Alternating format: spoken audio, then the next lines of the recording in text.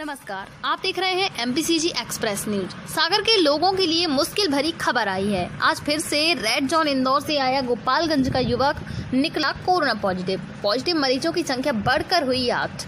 सागर के गोपालगंज में पटेल नगर से आया एक युवक कोरोना पॉजिटिव है। बीती रात करीब 180 सैंपल टेस्ट के लिए भेजे गए, तब एक मामला सामने आया। कोरोना पॉजिटिव 28 साल का युवक इंदौर से आया था।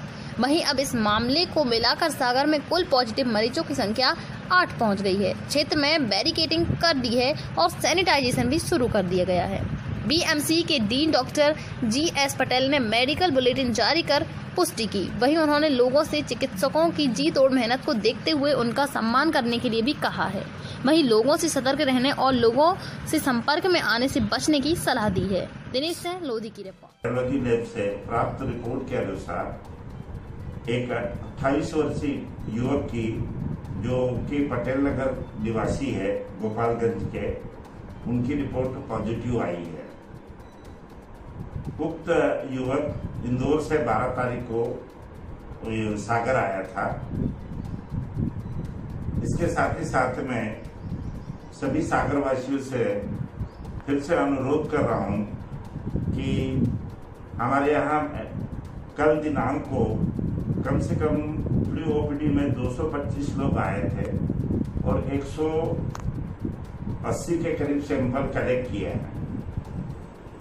और उसमें हमारे बीएमसी के पुराने सभी health care worker doctors lab technician 24 घंटे काम कर रहे हैं।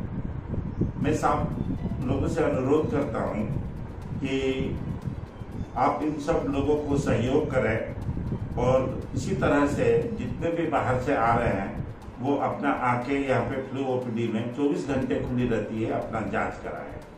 साथ ही साथ और अन्य कोई भी अगर आपके आस पड़ोस में कोई संदिग्ध है जो ट्रेवल होके आ रहा है और नहीं बताया है, उनको भी मोटिवेट कर कीजिए और उसकी भी सूचना देके उनको भी यहाँ पे बीएमसी में ला के उनकी जाँच करवाए।